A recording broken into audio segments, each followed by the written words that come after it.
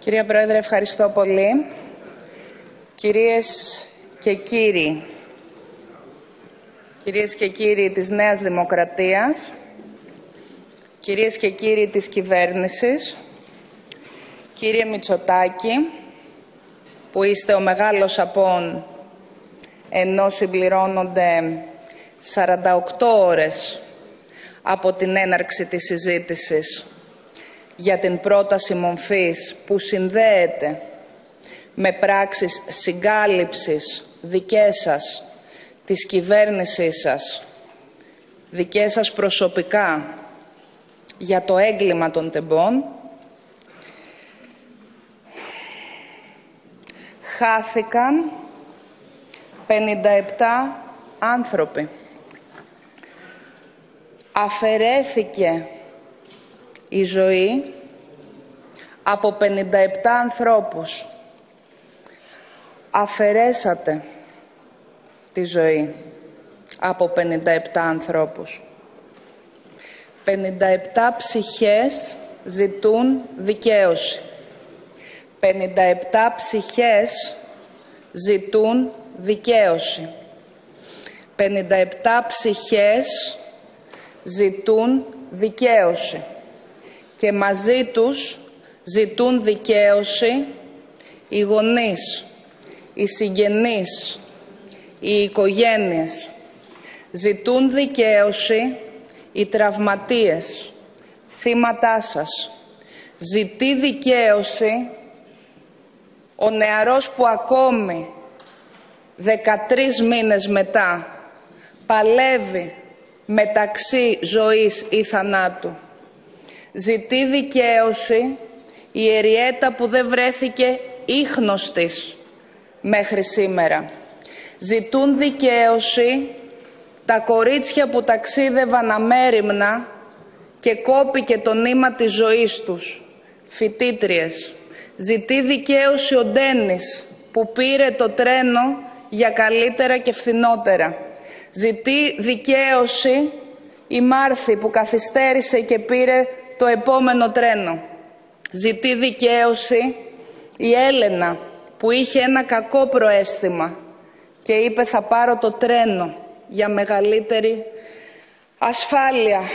Ζητούν δικαίωση 57 άνθρωποι, άνθρωποι, άνθρωποι που βρίσκονταν στην ευθύνη σας, που βρίσκονταν στο έλεό σας και παραβιάσατε τους ιερούς κανόνες του ανθρώπινου πρώτα απ' όλα καθήκοντος και ύστερα κυβερνητικού, τους ιερούς κανόνες να μην αφήσετε αυτούς τους ανθρώπους ανυπεράσπιστους, να μην πετάξετε τις ζωές τους, τις υπάρξεις τους,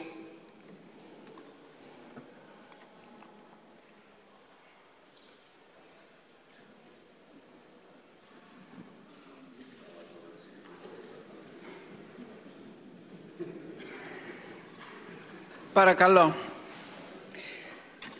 Θα σας παρακαλέσω να προσπαθήσετε να σεβαστείτε αυτούς τους ανθρώπους, τη μνήμη τους, το βίωμά τους, αυτές τις λίγες ώρες που υποχρεώνεστε να βρίσκεστε με αίτησή μας εδώ στη Βουλή για να απολογηθείτε πρώτα απ' όλα ο κύριος Μητσοτάκης, πρώτα απ' όλα ο κύριος Καραμανλής και στη συνέχεια βέβαια όλοι εσείς, οι λίγοι αυτή τη στιγμή, που αναλαμβάνετε την ευθύνη να επομισθείτε μέρος της ποινικής και της πολιτικής ευθύνης με την ψήφο σας απόψε το βράδυ. Δεν πρέπει να υπάρχει καμία αμφιβολία ότι η απόψινή σας ψήφος είναι ψήφος που θα σας συνοδεύει για πάντα, όπως για πάντα έχασαν τη ζωή τους οι 57 άνθρωποι.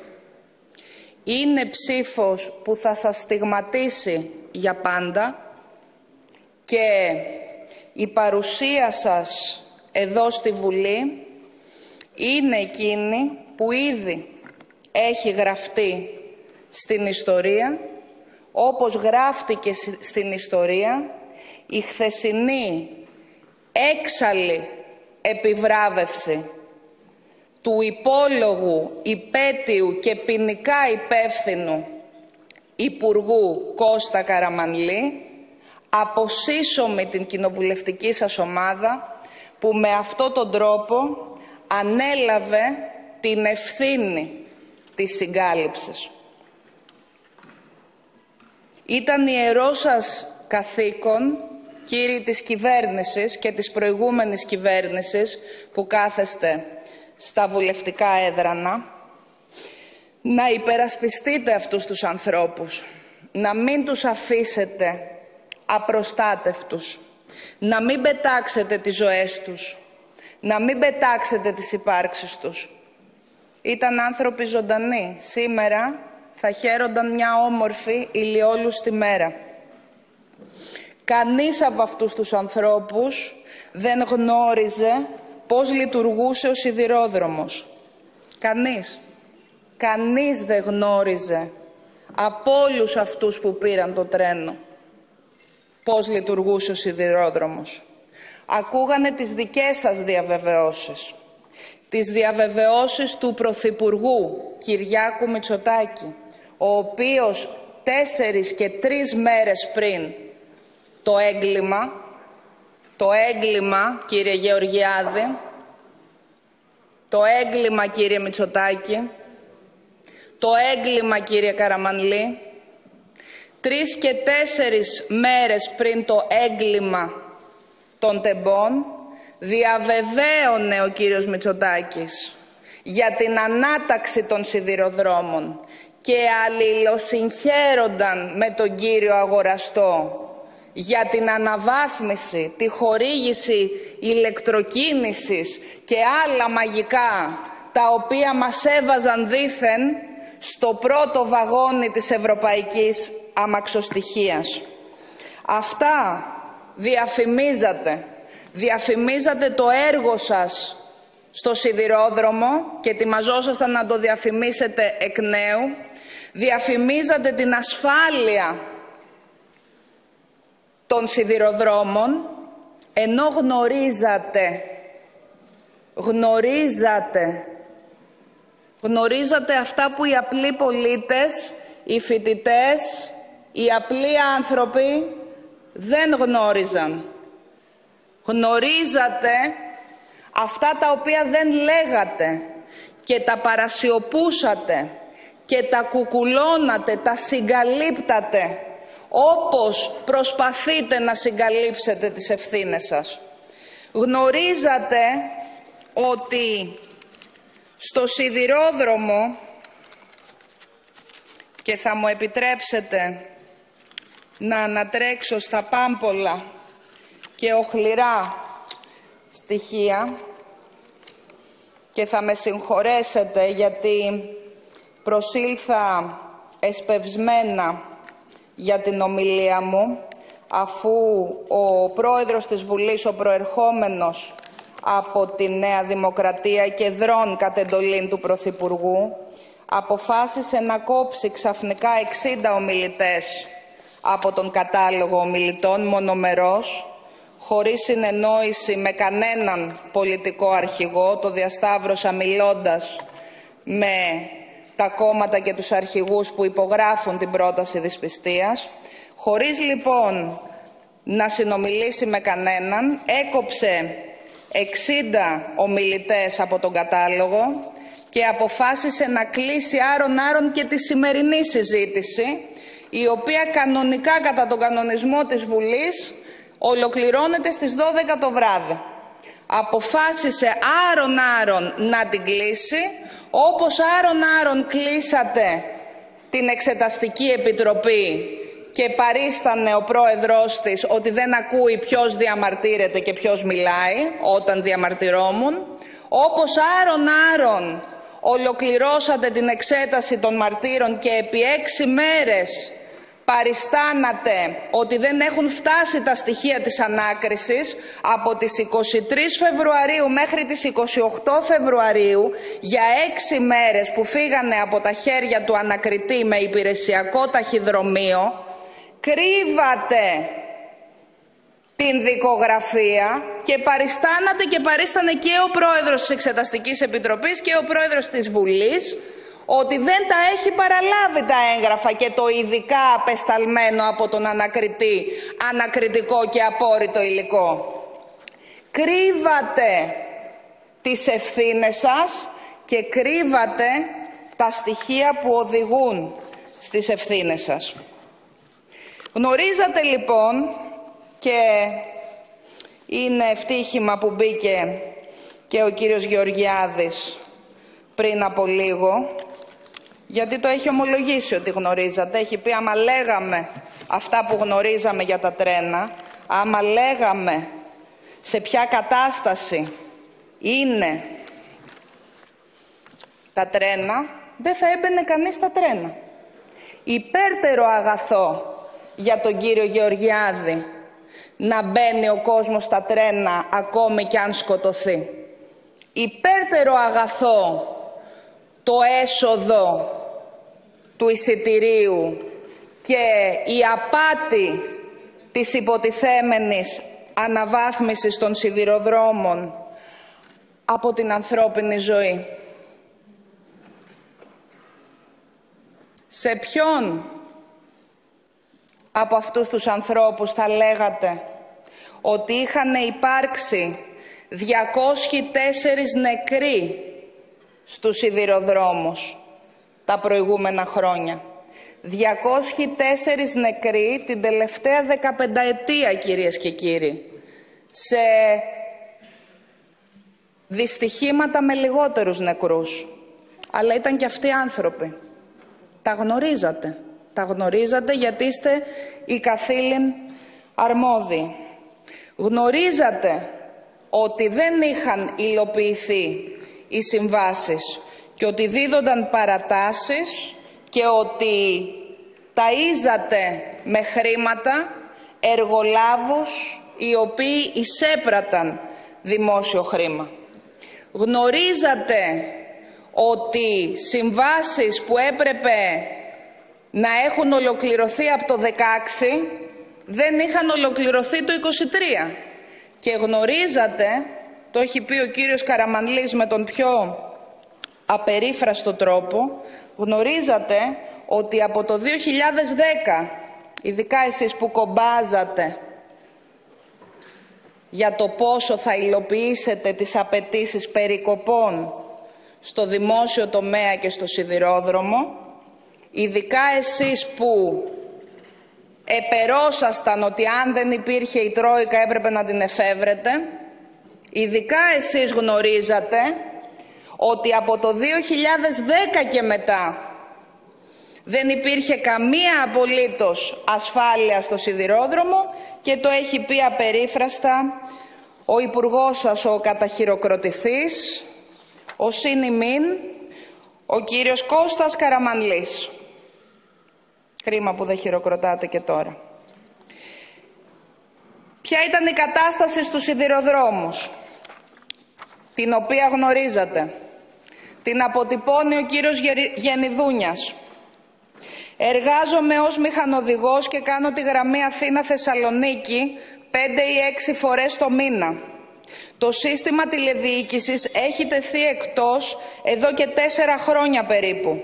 Όσο αυτό λειτουργούσε, οι εντολές που δεχόμασταν ως μηχανοδηγοί για την αναχώρησή μας αφορούσαν την αναγνώριση από το σιδηροδρομικό σταθμό Λάρισας, πολλές φορές με αριθμό τηλεγραφήματος λόγω της μη λειτουργίας των φωτοσημάτων και μετά λαμβάναμε οδηγίες από την τηλεδιοίκηση η οποία λειτουργούσε.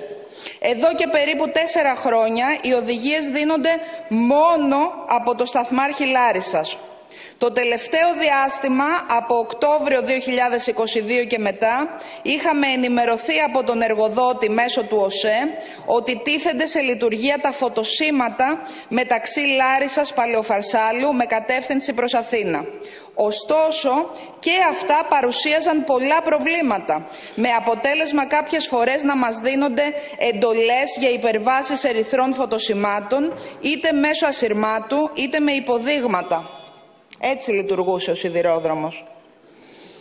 Τι κινδύνου συνεπάγεται η μη λειτουργία της τηλεδιοίκησης, τον ρωτάει ο ανακριτής και απαντάει. Για ακούστε πώς παραπλανήσατε ανθρώπους να μπαίνουν στα τρένα. Δεν μπορούσε να δει ο διαχειριστής υποδομής σε ποιο σημείο και σε ποια γραμμή ανόδου ή καθόδου βρισκόντουσαν τα τρένα κατά την πορεία τους. Σύμφωνοι. Δεν μπορούσε να δει ο διαχειριστής σε ποια γραμμή ανόδου ή καθόδου βρισκόντουσαν τα τρένα κατά την πορεία τους ενώ δεν μπορούσαν να γίνουν διασταυρώσεις τρένων σε σταθμούς, ούτε να χαράσετε η πορεία των τρένων στην ευθεία από σταθμούς όπως αυτός των νέων πόρων, όπου η είσοδος είναι μόνιμα καθυλωμένη στη διαγώνιο και ο μηχανοδηγός οφείλει να μειώσει την ταχύτητα της αμαξοστοιχίας χωρίς να έχει στη διάθεσή του ούτε τις ενδείξεις των φωτοσημάτων καθώς είναι μόνιμα κόκκινα. Τα γνωρίζατε. Τα γνωρίζατε αυτά. Είναι το περιεχόμενο των περίπου 200 εξοδίκων οχλήσεων που σας έχουν κάνει οι μηχανοδηγοί και οι εργαζόμενοι στον ΟΣΕ.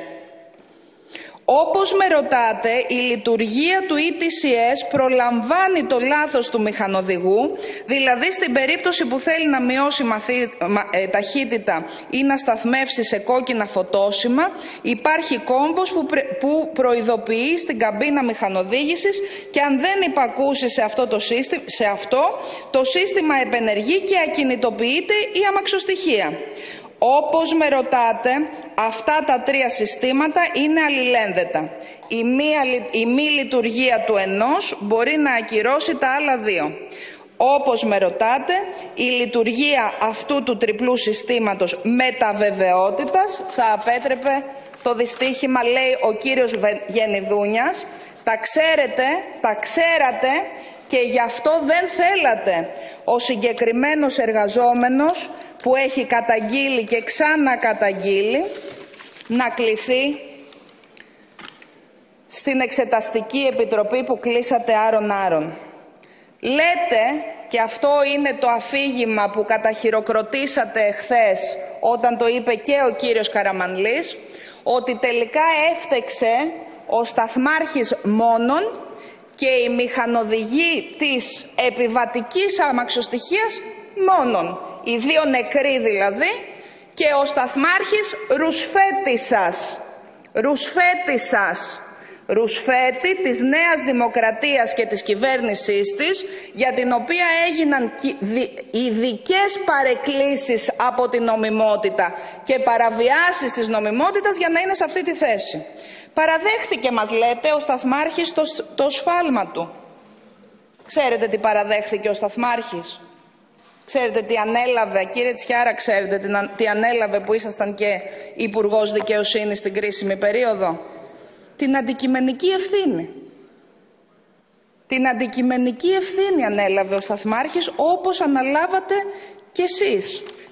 Ο Σταθμάρχης λέει τα ίδια που λέει ο κύριος Καραμανλής και ο κύριος Μητσοτάκης γιατί ο Σταθμάρχης είναι ο κύριος Καραμανλής και ο κύριος Μητσοτάκης. Ακούστε λοιπόν τι λέει ο Σταθμάρχης. Υπάρχουν λιχνίες στον κεντρικό πίνακα που δείχνουν την πορεία του τρένου για όσο δείχνει ο πίνακας. Στη γραμμή ανόδου, το σημείο που αποτυπώνεται στον ηλεκτρικό πίνακα έχει εμβέλεια μέχρι το ύψος της 110 πτέρυγας μάχης. Εκεί υπάρχει μόνιμο κόκκινο κύκλωμα. Παρότι δε, παρότι δε ότι αριστερά του πίνακα υπάρχουν και άλλες λιχνίες, λαμπάκια δηλαδή, αυτές δεν λειτουργούν λόγω του κόκκινου κυκλώματος που βρίσκεται στο ύψος της 110 πτέρυγας μάχης. Δεν ξέρω αν καθόταν και οι άλλοι σταθμάρχες έως τις 11, ίσως να μην γινόταν ό,τι έγινε, εάν αποδειχθεί δική μου αμέλεια. Εάν ο μηχανοδηγός μου έλεγε ότι μπήκε σε γραμμή από την άνοδο στην κάθοδο, πάλι δεν θα γινόταν τίποτα. Αυτό το επιβεβαιώνει και ο προϊστάμενος. Και μετά τι λέει, ο κάθε σταθμάρχης μετά τη βάρδια του παραδίδει και παραλαμβάνει ο νέος και αυτή η παράδοση παραλαβή εντυπώνεται εγγράφος στο αντίστοιχο βιβλίο και καταγράφεται η ώρα έναρξης και λήξης της προηγούμενης βάρδιας. Μετά το συμβάν η ώρα παράδοσης παραλαβής διορθώθηκε με μπλάνκο στο βιβλίο παράδοσης παραλαβής που τηρείται στο γραφείο του Σταθμάρχη. Δεν θυμάμαι ποια ήταν η πραγματική ώρα που υπογράψαμε ότι παρέλαβα, το συγκεκριμένο βιβλίο βρίσκεται πάντα ανοιχτό στο γραφείο του Σταθμάρχη. Η πραγματική ώρα αναχώρησης του Παυλόπουλου είναι περί 10 και 20 και του Χαμηλού περί 10 και 10. Αναλαμβάνω την αντικειμενική ευθύνη που με βαραίνει σαν Σταθμάρχη. Την αντικειμενική ευθύνη αναλαμβάνει και ο Σταθμάρχης Ρουσφέτησας και επειδή είναι πρόκληση για τα θύματα, για τους επιζώντες, για τις οικογένειες να μας λέτε ότι συνέτρεξαν οι παραβιάσεις του κώδικα των τρένων, γνωρίζατε και θα, και θα καταθέσω σχετικά τις σελίδες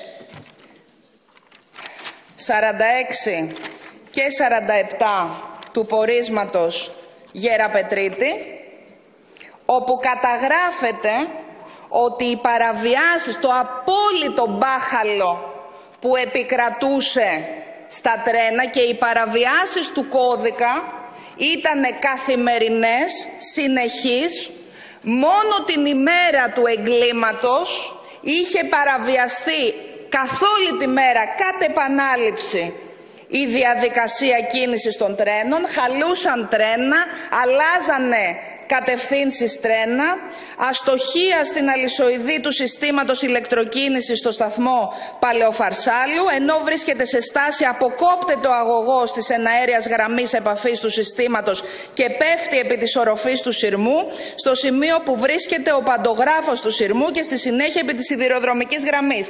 Τα σαπάκια, βαγόνια και τα βαγόνια της Siemens της δεκαετίας του 90 αυτά τα βαγόνια είναι τα μοιραία βαγόνια στα οποία βάλατε τα παιδιά και τους ανθρώπους που σκοτώσατε κατέρεαν καθημερινά και το γνωρίζατε διότι υπήρχαν καθημερινά συμβάντα την ίδια ημέρα άλλη αμαξοστοιχεία καταργήθηκε.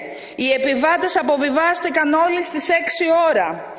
Άλλη αμαξοστοιχεία αναχώρησε ως αμαξοστοιχεία με άλλο αριθμό στις 7 και 5 με προορισμό το σταθμό της Λάρισας με επικεφαλής δύο, δύο διζελάμαξες και χωρίς επιβάτες και αφήχθη στη Λάρισα κινούμενη στη γραμμή ανόδου. Άλλη αμαξοστοιχεία. Αναχώρησε 18 και 54 από τη Λάρισα με προορισμό Θεσσαλονίκη. Παρουσίασε πρόβλημα στην πέδηση, στα φρένα κύριε Γεωργιάδη και ακινητοποιήθηκε από ώρα 19 και 12. Ζήτησε μηχανή εφεδρείας. Με τη βοήθεια μηχανής που στάλθηκε από Λάρισα επέστρεψε στο σταθμό Λάρισα στις 9.30. Από ώρα 7 και 21 η κυκλοφορία μεταξύ Λάρισας Λιτοχώρου γινόταν αμφίδρομα από τη γραμμή καθόδου. Όλα πηγαίνανε από τη γραμμή καθόδου εκείνη τη μέρα. Λόγω των επικρατουσών συνθήκων η επιβατική αμαξοστοιχεία 2596 με προορισμό τη Θεσσαλονίκη κινήθηκε σε γραμμή καθόδου αντί σε γραμμή ανόδου ως όφιλε και αφήχθη 21 και 22 στο σταθμό Νέων Πόρων από τη γραμμή καθόδου. Αναχώρησε στις 21 και 23 για λιτόχωρο από τη γραμμή καθόδου. 21 και 38 αποκαταστάθηκε κυκλοφορία στη γραμμή ανόδου Λάρισας Λιτόχωρου και από αυτή τη χρονική στιγμή και μετά λειτουργούσε η γραμμή ανόδου. Έκτακτη διακοπή της κυκλοφορίας και φωνητικές καταγραφές Δύο μόνον σελίδες από το πόρισμα Γεραπετρίτη της καταθέτω στα πρακτικά, τα ξέρετε. Και τολμάτε να λέτε ότι έφτεξαν οι παραβιάσεις του κανονισμού. Εσείς παραβιάσατε όλους τους κανονισμούς, όλους τους νόμους, όλες τις υπαγορεύσεις, όχι μόνο της ασφάλειας, αλλά και της ηθικής και της ανθρωπιάς. Γιατί μέσα σε αυτό το τρένο και στο άλλο τρένο δεν ήταν αντικείμενα, ήταν άνθρωποι. Ο κύριος Καραμανλής εχθές κατα... καταχειροκροτήθηκε από την κοινοβουλευτική σας ομάδα. Γιατί κύριε, γιατί, τι είπε, ζήτησε συγγνώμη; Ζήτησε συγγνώμη; Όχι. Είπε ότι έκανε λάθος; Όχι. Είπε ότι τα έκανε σωστά. Ανέλαβε πραγματική ευθύνη; Όχι. Εξήγησε για ποιο λόγο αγνοούσε τις προειδοποιήσεις των εργαζομένων; Όχι. Εξήγησε γιατί κουνούσε το δάχτυλο σε βουλευτή, τον κύριο Μεϊκόπουλο, λέγοντάς του ντροπή, ντροπή και ντρέπομαι που θέτεται θέμα ασφάλειας. Όχι εξήγησε για ποιο λόγο επέτρεπε να παρουσιάζεται ο σιδηρόδρομος ως αναταγμένος ενώ ήταν σε αυτό το χάλι και σε καθημερινό κάθε στιγμή κίνδυνο ζωής για τους ανθρώπους; Όχι. Ενημέρωσε μήπως για τις συνεννοήσεις που είχε κάνει με τον κύριο Μητσοτάκη για να εντάξουν σε έργα το σιδηρόδρομο από τις οποίες γνώριζε πολύ καλά το χάλι, διότι και πολλά έργα δεν εντάχθηκαν, ακριβώς λόγω αυτού του χαλιού, και πολλά άλλα έργα εντάχθηκαν μετακόπων και βασάνων. Το αποτυπώνει στην κατάθεσή του στην Εξεταστική Επιτροπή. Σας παραπέμπω στα πρακτικά που έχω ήδη καταθέσει για τα πρακτικά της συνεδρίασης υπαναχώρησε έστω λίγο από την ίησή του, από την αλαζονία του, την αλαζονία σας, όχι. Αποστασιοποιήθηκε και διαχώρισε τη θέση του από τη σκεά χιδαία παρουσία μελών σας και υπουργών σας που όλες αυτές τις μέρες υβρίζουν όποιον ζητά ευθύνες. Όχι. Ένωσε τη φωνή του με αυτούς που λιδωρούν και επιτίθενται σε όποιον του ζητά ευθύνες. Ναι. Επιτέθηκε σε όποιον ζητά ευθύνες; Ναι. Σας είπε ότι το ζήτημα που κρίνεται είναι η μεγάλη σας παράταξη που συμπληρώνει 50 χρόνια και που έφερε και τη δημοκρατία στη χώρα. Αυτό είπε. Αυτό είπε. Σας είπε ότι το θέμα είναι η μεγάλη σας παράταξη. Και τον χειροκροτήσατε σε κατάσταση έξαλλου πανηγυρισμού, έξαλλου πανηγυρισμού που φέρνει σε αμηχανία ακόμα και μας που ξέρουμε πάρα πολύ καλά. Και πόσο υπεύθυνοι είστε και υπέτη και πόσο αδίστακτοι είστε. Ο κύριος Καραμανλής χειροκροτήθηκε σαν πρωθυπουργός χειροκροτήθηκε από την κοινοβουλευτική σας ομάδα σύσσωμη σαν Πρωθυπουργός. Και αυτό αντικατοπτρίζει τη γραμμή του κυρίου Μητσοτάκη, προστατεύστε τον, χειροκροτούσατε και τον κύριο Μητσοτάκη στο πρόσωπο του Καραμανλή. Και αντικατοπτρίζει βέβαια και τον κίνδυνο για τους πολίτες αυτής της χώρας να δούμε ακόμα και Πρωθυπουργό κάποια στιγμή με την ευαγή σας υποστήριξη και τα χειροκροτήματά σας, τον κύριο Καραμανλή, τον υπέτειο για την αφαίρεση της ζωής 57 ανθρώπων. Είναι βαρύτατη η ευθύνη σας, κύριοι. Είναι βαρύτατη βεβαίως και η ευθύνη του Πρωθυπουργού, ο οποίος έλεγε και διαβεβαίωνε τους πολίτες σε μαγνητοσκοπημένο μήνυμα ότι δεν θα γίνει η Ελλάδα η χώρα του Μπλάνκο και έχετε μετατρέψει κάθε διαδικασία σε διαδικασία συγκάλυψης και Μπλάνκο.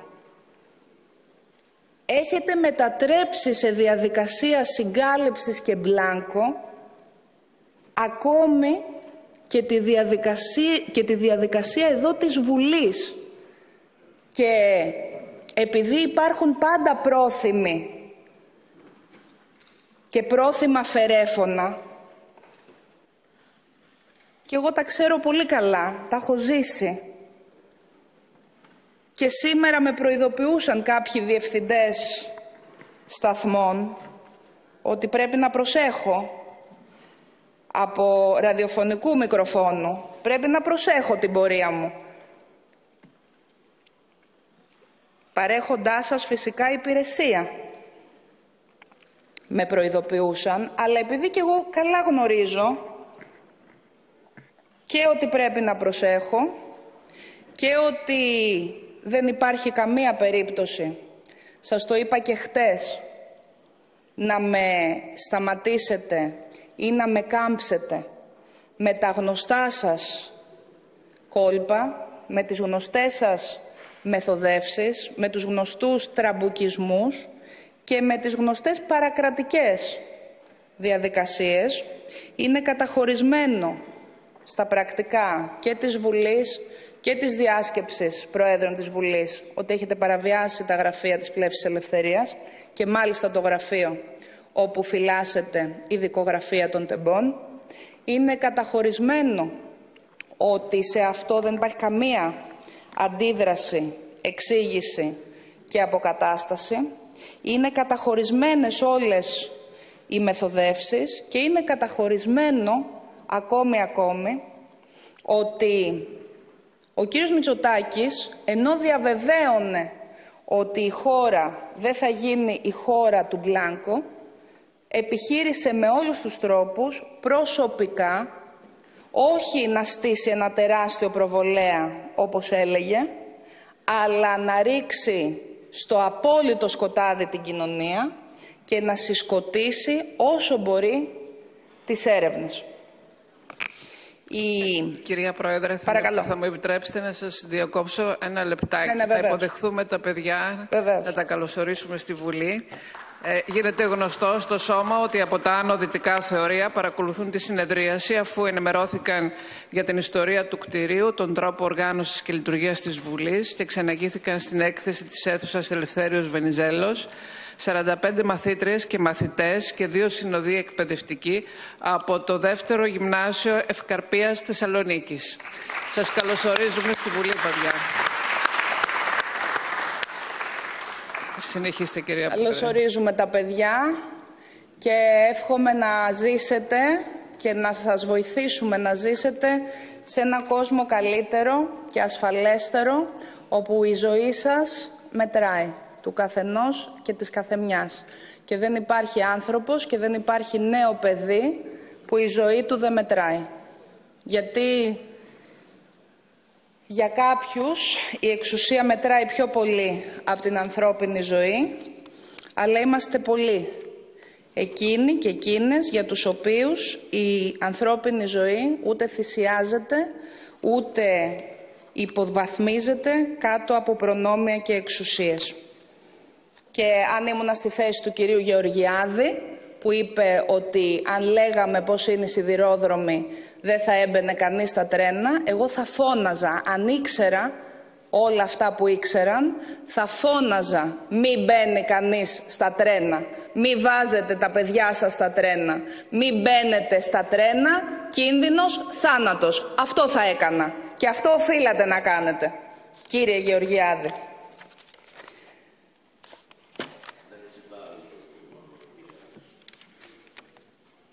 Κύριε, Κύριε Χατζηδάκη, όμως εσείς είστε, ξέρετε, είστε παρεμβατικός πολύ.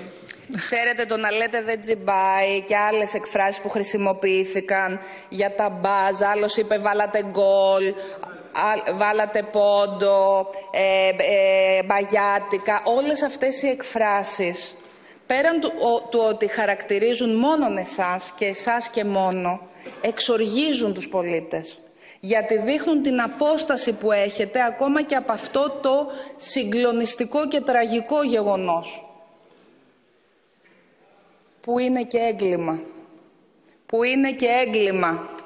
Που είναι και έγκλημα και όσο και αν φωνάζει ο κύριος Γεωργιάδης δεν είναι έγκλημα τα τέμπη όπως έκανε χτες, αν είναι δυνατόν με ανοιχτή ανάκριση και εκατοντάδες κατηγορίες σε βαθμό κακουργήματος, αν δεν είναι χιλιάδες οι κατηγορίες σε βαθμό κακουργήματος, γιατί κάθε μια ανθρώπινη ζωή και κάθε μια διακινδύνευση είναι ξεχωριστό κακούργημα, είπε δεν είναι έγκλημα. Είπε δεν είναι έγκλημα. Αυτό προσπαθείτε να εμπεδώσετε και προσπαθήσατε με πάρα πολλούς τρόπους να το επιβάλλετε. Ο πρώτος τρόπος ήταν η σιγή. Να απαγορευτεί η λέξη τέμπη εδώ μέσα στη Βουλή. Και τη λέγαμε ξανά και ξανά και ξανά και ξανά εμείς, η Πλεύση Ελευθερίας και άλλοι βουλευτές, αλλά εμείς συντεταγμένα συνέχεια και εγώ προσωπικά πάνω από 60 φορές με ομιλίες μου, και τέμπη και έγκλημα των τεμπών για να μην υπερισχύσει η παρασιόπιση. Στη συνέχεια με αυτή την εξεταστική επιτροπή για την οποία επελέγει πρόεδρος αυτό το σκοτεινό πρόσωπο, ο κύριος Μαρκόπουλος, δημοσιογράφος στην προηγούμενη θητεία του, του πρώτου θέματος, που εξυμνούσε τον Μιχαλολιάκο της Χρυσής Αυγής ως το πρόσωπο της χρονιάς και το άρθρο του το συγκεκριμένο σήμερα έχει κατέβει από την ιστοσελίδα του πρώτου θέματος. Υπάρχει όμως αναδημοσιευμένο σε πάμπολες ιστοσελίδες. Ο κύριος Μαρκόπουλος, αυτό το σκοτεινό πρόσωπο που αποδείχθηκε ότι του παρήγγελαν δημοσιεύματα οι κατηγορούμενοι της Νοβάρτης και του κάνανε στα πρωτόλια του παρατηρήσεις. Κατασχέθηκαν από το FBI. Αυτό το πρόσωπο επιλέχθηκε για τη βρώμικη δουλειά της συγκάλυψης στην Εξεταστική Επιτροπή. Την έκανε τη βρώμικη δουλειά με το πιο βρώμικο τρόπο, με τη διαφορά ότι την έκανε σε κοινή θέα. Τον είδε πλέον το Πανελλήνιο δεν μπόρεσε στα σκοτάδια που έχετε συνηθίσει να κινείστε να ενεργήσει τη συγκάλυψη.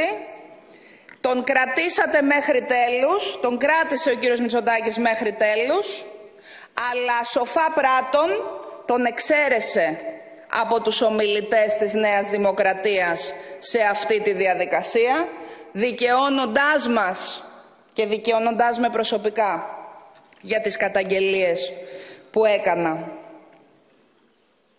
Όταν στις 24 Νοεμβρίου του 2023 με 158 ψήφους δίνατε κάλυψη και ασυλία στον κύριο Καραμανλή και κόμπαζε ο κύριος Βορύδης δεν υπάρχουν ποινικές ευθύνες, του είπα Κύριε Βορύδη, θέλετε να κλείσετε το θέμα, αλλά σας εγγυώμαι εγώ προσωπικά ότι το θέμα θα ανοίγει όλο και περισσότερο κάθε μέρα, γιατί συνδέεται με ανθρώπινες ζωές. Όταν στις 28 Νοεμβρίου έγινε η πρώτη απόπειρα συγκάλυψης με την εξαίρεσή μου, την οποία έφερε υπόλογο πρόσωπο ο κύριος Πλεύρης, που στη συνέχεια εξαιρέθηκε, σας προειδοποίησα ότι με 57 ανθρώπους δεν μπορείτε να κάνετε αυτά που ξέρετε και κάνετε στις γνωστές υποθέσεις διαφθοράς και διαπλοκής σας. Και σήμερα που επιχειρείτε άρον-άρον να κλείσετε την υπόθεση για να κλείσετε τις ευθύνες, σας ξαναλέω το έγκλημα αυτό αποκλείεται να συγκαλυφθεί όσο είμαι εγώ εδώ μέσα στη Βουλή, όσο οι οικογένειες των θυμάτων υπηρετούν το καθήκον τους προς τους ανθρώπους τους, όσο οι επιζώντες και οι συγγενείς δεν μπαίνουν στα δικά σας κόλπα και συνεχίζουν να ζητούν δικαιοσύνη. Μπαζώσατε τον τόπο του εγκλήματος. Και χτες το βράδυ, αν είναι δυνατόν, το ανήρτησα εκείνη την ώρα, εμφανίστηκε στις 3 η ώρα, στις 3 τα ξημερώματα, ο αναπληρωτής Υπουργός Οικονομικών, ο κύριος Παπαθανάσης, στις 3 τα ξημερώματα, παρακαλώ, και κατέθεσε στα πρακτικά εκείνη την ώρα τα πιστήρια του μπαζώματος. Πιστεύατε ότι δεν θα το πάρει είδηση κανείς, ότι κοιμάται η κοινωνία και η συνείδηση της δικαιοσύνης, ότι κοιμούνται οι συγγενείς, ότι κοιμόμαστε εμείς, δεν ξέρω. Τα πιστήρια του μπαζώματος όμως αποδεικνύουν ότι το μπάζωμα έγινε με πλήρη συνεργασία αγοραστού και Υπουργείου Οικονομικών, με πλήρη εμπλοκή των δικών σας μηχανισμών, χωρίς πουθενά να αναφέρεται μπάζωμα, δηλαδή με πλήρη συνέστηση ότι συγκαλύπτεται αυτό που πράγματι έγινε και αναδρομικά, δηλαδή πότε τον Απρίλιο, στα τέλη Μαρτίου, 31 Τρίτου του 23, αναδρομικά το νομιμοποιήσατε, γιατί δεν βρίσκατε άλλο τρόπο να νομιμοποιήσετε τις 700 περίπου χιλιάδες ευρώ, κάτι λιγότερο από τα έγγραφά σας, που δαπανίσατε για αυτό το σκοπό. Αναδρομικά, με παραπλανητικές αναφορές για μίσθωση οχημάτων και μηχανημάτων και ούτω καθεξής, μεταξύ σας, ε, ημών της Νέας Δημοκρατίας και προσπαθώντας να καλύψετε τις ευθύνες σας. Γιατί μπαζώσατε το, το χώρο; Μπαζώσατε το χώρο γιατί ξέρατε τι περιείχε και τι μετέφερε η εμπορική αμαξοστοιχεία. Ο χώρος που έχει μπαζωθεί είναι χώρος όπου βρίσκονταν τα συντρίμια, όπου μπορεί να έχει διασπαρεί η όποια επιζήμια ύλη, γνωρίζατε ότι υπάρχει αυτός ο κίνδυνος και αυτό επιχειρήσατε να καλύψετε. Ο χώρος που έχει καλυφθεί δεν έχει καμία σχέση με σταθεροποίηση μηχανημάτων, ένα από τα ψέματά σας, δεν έχει καμία σχέση με απομάκρυνση συντριμιών, γιατί έγινε μετά την απομάκρυνση των συντριμιών, αυτή την άτσαλη και γρήγορη απομάκρυνση που οδήγησε στο να είναι εκτεθειμένα επί μήνες στις καιρικές συνθήκες τα βαγόνια με ανθρώπινα υπολείμματα, με ανθρώπινα μέλη, με, προσωπικά αντικείμενα, με κινητά, με ταυτότητες, με πιστοτικές κάρτες, με σκουλαρίκια, με ρολόγια. Ε, τα πετάξατε σαν σκουπίδια.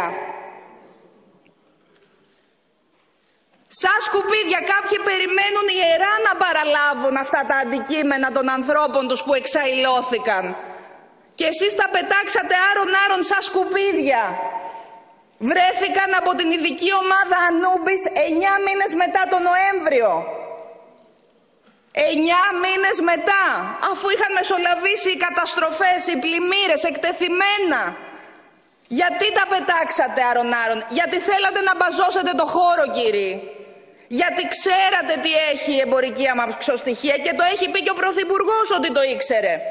Στη συνέντευξή του στο Σταύρο Θεοδωράκη, ρητός λέει γνωρίζουμε απολύτως τι περιείχε η εμπορική αμαξοστοιχεία, δεν είχε τίποτε το έφλεκτο, δεν είχε τίποτε από όλα αυτά που λέγονται. Αυτά είπε ο κύριος Πρωθυπουργός. Εχθές, κύριε Γεωργιάδη, μου κάνατε μία σύσταση μιλώντας εκ μέρους του πατέρα του μηχανοδηγού της ε, εμπορικής αμαξοστοιχίας. Μου επιτεθήκατε κιόλας. Ε, δεν ξέρω, είχατε πράγματι εξουσιοδότηση να μιλήσετε εκ μέρους του ανθρώπου αυτού; Αναρωτιέμαι.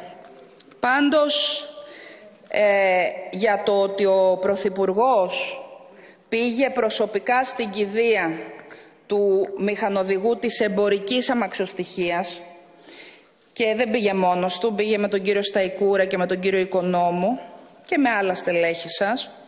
Ε, δώσατε εσείς την πληροφόρηση. Δώσατε εσείς την πληροφόρηση και υπάρχει και δημοσίευμα των νέων 7 Τρίτου 2023 που λέει το παρόν στην κηδεία δίνει ο Πρωθυπουργός Κυριάκος Μητσοτάκης, καθώς και ο Χρήστος Σταϊκούρας και Γιάννης Οικονόμου. Ο άτυχος εργαζόμενος της εμπορικής αμαξοστοιχίας ήταν εθελοντής στο γραφείο του Πρωθυπουργού και ο κύριος Μητσοτάκης τον γνώριζε προσωπικά, όπως βεβαίως και την οικογένειά του. Το καταθέτω στα πρακτικά. Όπως καταθέτω και την εισαγωγική τοποθέτηση του Πρωθυπουργού Κυριάκου Μητσοτάκη στην συνεδρίαση του Υπουργικού Συμβουλίου, εκεί που είπε ότι δεν θα γίνουμε η χώρα του Μπλάνκο, που είπε ότι αναλαμβάνει ευθύνες, που είπε ότι αν είχε ολοκληρωθεί 7-17 δεν θα γινόταν το δυστύχημα. Εκεί επίσης είπε ότι υποσχέθηκε στη μητέρα, στην κυρία Ιωάννα Βούλγαρη, στην κηδεία του μονάκριβου γιού της, Σπύρου. Εγώ έχω απόλυτη συνέστηση λοιπόν κύριε Γεωργιάδη και δεν έχω ποτέ μου προσβάλει μνήμη ανθρώπου που χάθηκε. Η παραποίηση όμως των γεγονότων είναι από μόνη της προσβολή στη μνήμη και αυτό το οποίο θα πρέπει να εξηγήσετε είναι αν αυτές οι πληροφορίες που εσείς δώσατε είναι ανακριβείς ή αληθείς. Η δική μου πάντως ενημέρωση προέρχεται από τα δημόσια δεδομένα που εσείς, επαναλαμβάνω, δώσατε στην δημοσιότητα. Και επειδή, λοιπόν, το ανθρώπινο λάθος θελήσατε να το προβάλλετε εξ αρχής ως αιτιολογία και λόγο για την αφαίρεση των ανθρώπινων ζωών και επειδή σας απέδειξα αμέσως προηγουμένως ότι θα ήταν έκπληξη να μην γίνει ανθρώπινο λάθος σε αυτές τις συνθήκες και επειδή αποδεικνύεται ότι ενώ λέγατε ότι δεν θα γίνει η Ελλάδα η χώρα του Μπλάνκο αλλά το ρουσφέτη σας ήταν εκεί μόνος του σταθμάρχη στην κρίσιμη στιγμή και εξαφανίστηκε στη συνέχεια ο επόπτης με αναρωτική άδεια για ένα μήνα και αποκαλύπτονταν το ένα μετά το άλλο τα γεγονότα της συγκάλυψης και υποτίθεται θα ρίχνατε άπλετο φως, πρέπει να απαντήσετε και πρέπει να απαντήσει ο κύριος Μητσοτάκης. Κύριε Μητσοτάκη, τελικά την ώρα που λέγατε δεν θα γίνουμε η χώρα του Μπλάνκο, αφήνατε να γίνονται κινήσεις και μπαζώματα στον τόπο του εγκλήματος για να καλυφθεί το τι άλλο υπήρχε εκεί εκτός από τα συντρίμια του τρένου και ό,τι απέμεινε από τους ανθρώπους. Και την ίδια ώρα μας λέτε ότι αφήνατε να παρεμβαίνουν στο υλικό του ΟΣΕ, να παρεμβαίνουν στο υλικό των καταγραφών, αυτό που έπρεπε να έχει διασφαλιστεί και κατασχεθεί από το πρώτο δευτερόλεπτο δικά σας πρόσωπα του ΟΣΕ διορισμένα από εσά και να γίνονται και πάλι γκρίζες διαδικασίες. Κυρία Πρόεδρε, παρακαλώ ολοκληρώνετε τη σκέψη σας. Ευχαριστώ κύριε Πρόεδρε, σε λίγο ολοκληρώνω.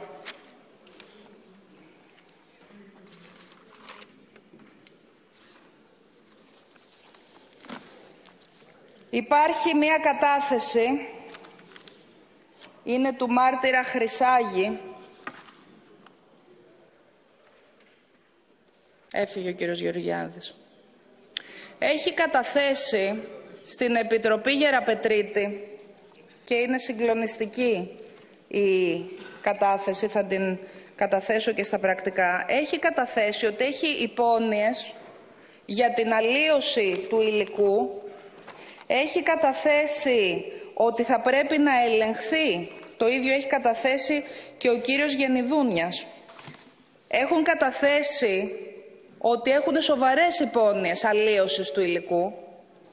Ο Χρυσάγης σκοτώθηκε σε ένα τρομακτικό δυστύχημα στις, στα τέλη Μαρτίου, αν δεν κάνω λάθος, του 2023 και έχει καταθέσει ότι έχει ήδη από τότε, δεν τον έχουμε δυστυχώς ως μάρτυρα, έχει καταθέσει ότι υπάρχει σοβαρή υπόνοια χάλκευσης του υλικού. Όλα αυτά εσείς κύριοι, γιατί γι' αυτό γίνεται η πρόταση δυσπιστίας και μην υπεκφεύγετε σε άλλα ζητήματα. Όλα αυτά εσείς κύριοι δεν αισθανθήκατε την ανάγκη να τα ερευνήσετε; Ο κύριος Μητσοτάκης που θα έρθει πότε άραγε εδώ δεν αισθάνεται την ανάγκη να διατάξει να ερευνηθούν; Όχι βέβαια είναι η απάντηση. Γιατί γνωρίζει τις απαντήσεις. Γιατί γνωρίζει την προσωπική του εμπλοκή και, και γιατί γνωρίζει την προσωπική του ενοχή. Κυρίες και κύριοι, σαν σήμερα πριν από ένα, πριν από ένα χρόνο, στις 28 Μαρτίου του 2023, βρέθηκα μαζί με την Μαρία Καριστιανού και με την οικογένεια του Ντένις Ρούτσι και με τους γονείς και συγγενείς όλων των θυμάτων στον τόπο του εγκλήματος.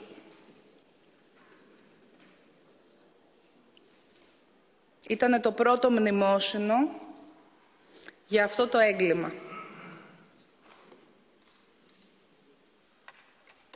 Μέσα στην μεγάλη οδύνη της, η Μαρία Καριστιανού σε κάποια στιγμή έφυγε από δίπλα μου, σαν να ηλεκτρίστηκε, διότι εντόπισε τον κύριο Αγοραστό, τον δικό σας, τον περιφερειάρχη σας, το δικό σας παιδί, τον κολλητό του κυρίου Μητσοτάκη. Τον εντόπισε και θέλησε να του ζητήσει εξηγήσεις. Θέλησε να του ζητήσει εξηγήσεις για τον μπάζωμα. Όλη η στοιχομηθεία και τώρα καλώ τους δημοσιογράφους, τους δημοσιογράφους, όχι τα μέσα ενημέρωσης, τους δημοσιογράφους, τους δημοσιογράφους που έχουν καθήκον να δημοσιεύουν την αλήθεια. Παρακαλώ ολοκληρώστε με αυτό. Ναι κύριε Πρόεδρε, με δύο φράσεις θα ολοκληρώσω τους δημοσιογράφους που έχουν καθήκον να μην παίρνουν εντολές παρασιώπησης. Είναι καταγεγραμμένοι από τις τηλεοπτικές κάμερες ολόκληρη στοιχομηθεία της Μαρίας Καριστιανού με τον αγοραστό. Οι υπεκφυγές και οι δικαιολογίες που έδινε τότε, ό,τι απαντούσε εκείνος που αρνήθηκε να απαντήσει στην Εξεταστική Επιτροπή για τα τέμπη. Αναζητήστε τα, δημοσιεύστε τα. Όλα αυτά που οι συγγενείς σήμερα αναζητούν ως στοιχεία και δημοσιεύουν είναι σε δημόσια θέα. Υπάρχουν για το ρεπορτάζ, υπάρχουν διαθέσιμα για να καταρρύψουν την προπαγάνδα την οποία η θελημένα και μεθοδευμένα οργανώνει αυτή η κυβέρνηση. Οι απολύτως εμπλεκόμενοι σε ενέργειες συγκάλυψης, παρασιώπησης και απόσυσης της δικής της ποινικής ευθύνης. Η τελευταία μου λοιπόν φράση και υπόσχεση Έχω ακόμα πάρα πολλά και θα τα πω σε επόμενη ομιλία μου γιατί είναι υπόσχεση ότι δεν θα κλείσει απόψε το θέμα.